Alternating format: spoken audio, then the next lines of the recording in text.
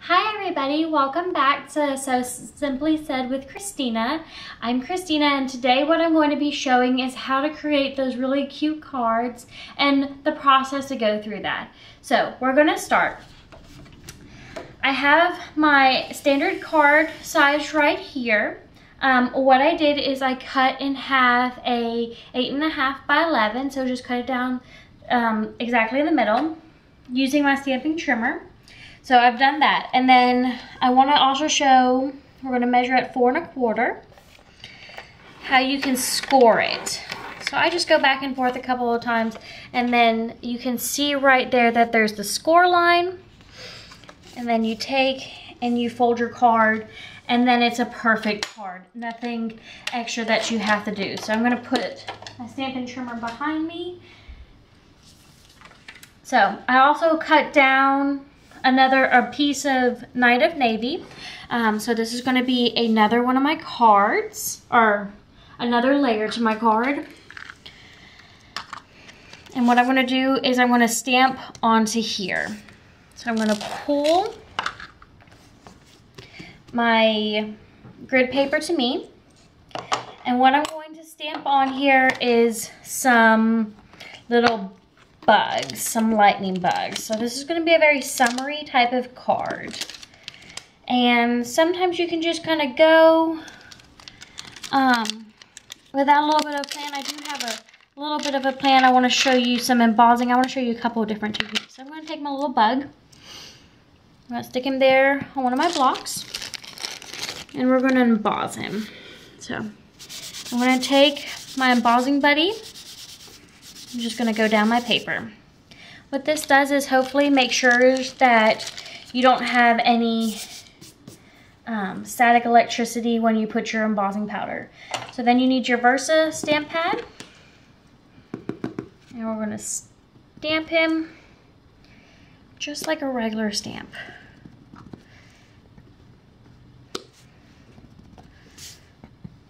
We're just going to stamp a few. I think I want to have five. Just throughout the card, like that. Then we're going to take our embossing powder and go over our images completely. Okay. Then I have this little tray. I'm going to make sure that it goes all in correctly. Dab off any extras. And there you go. So then you can see that the embossing powder has stuck to my paper. So I'm going to put that off to the side for a second while Drew gives you a closer look. We're going to take our heat gun and plug it in. And disclosure, this gun does get really, really hot. So not meant for children. Please don't let your children um, don't put your finger right here when it's on.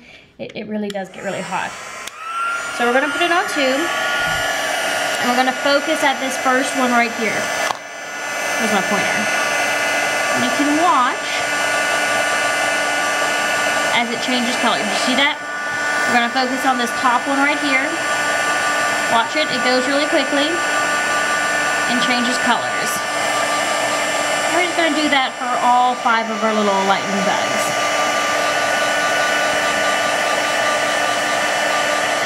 Okay. So that's it. It's one of my favorite techniques because it gives a real shine to your card. It makes it look really, really elegant. So there we go. We have some fun fireflies on our card. Now what I'm going to do, not lose my snail, I'm going to take my snail, I'm just going to run it a couple of times on the back of my card. And I'm going to mount my card. So I'm using Night of Navy and Mint Macaron. These are two of my favorite ones.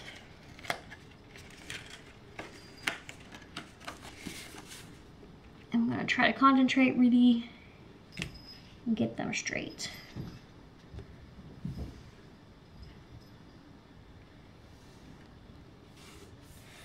Hear jingling in the background, it's just the cats They've been arguing and fighting all day as far as like having kids. Okay, so there's the beginning of my card. So I'm gonna put my inks away.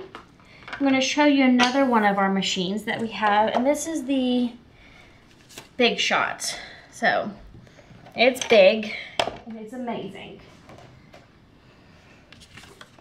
This machine might seem like it's really expensive. It is, it's a little bit expensive, but I love it. So you have your magnetic platform.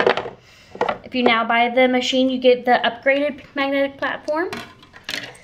I'm gonna spin this around so the camera can see it. We're gonna put our Thinlit on there.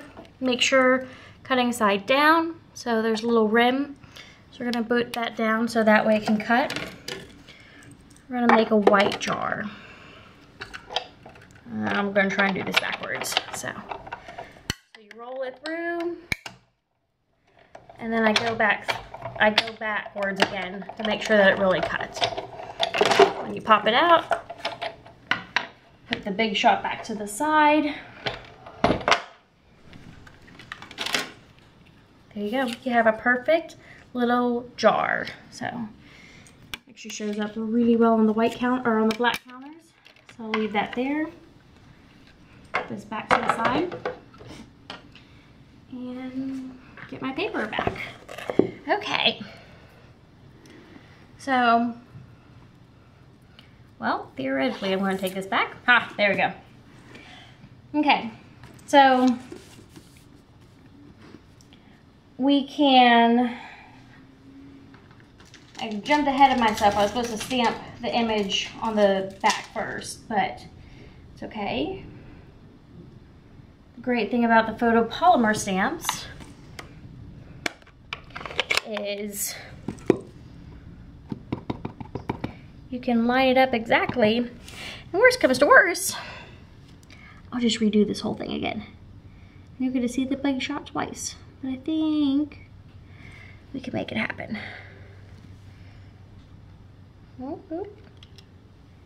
Looky there. So now it looks like we have an actual jar. Super cute. Love it. I used my Dapper Denim. This is one of our new in colors. And then I'm going to also use Emerald Envy, which is another one of our new in colors and I lost the, I'll just use this guy. And I'm going to use the sentiment hello. Because who doesn't love getting a hello card?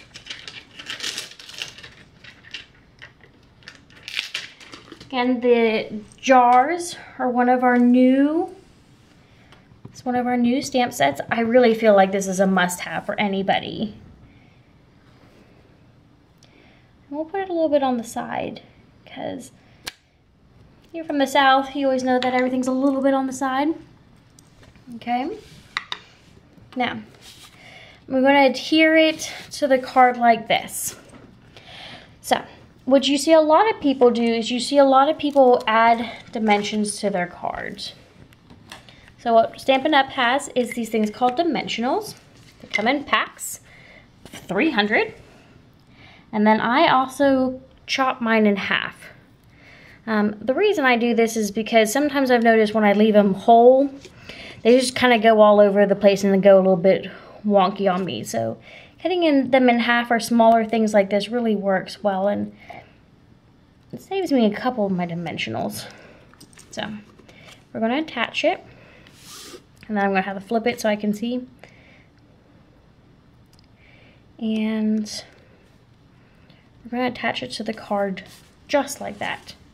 So that's my finished card. It's really simple. You can see I have my three layers. One, the Night of Navy, two, and then my mason jar. We have some pretty embellishments using the embossing powder. And then we have some actual dimension because this has some lift to it. We could add other things, but I really like the simplicity of this card, so I think I want to leave it just like that. It reminds me of some summer nights. Can also add a sentiment on the inside of the card and always make sure to sign the back of your card. So that way people know that you made it and made it out of love. So I hope you enjoy this card. I hope that this helps, makes a little bit sense of how we put cards together. If you have any questions, please comment below and make sure to visit my website, www.stampin, or so, we'll try that again. Visit my website, www.simplysaid.stampinup.net. Thanks guys.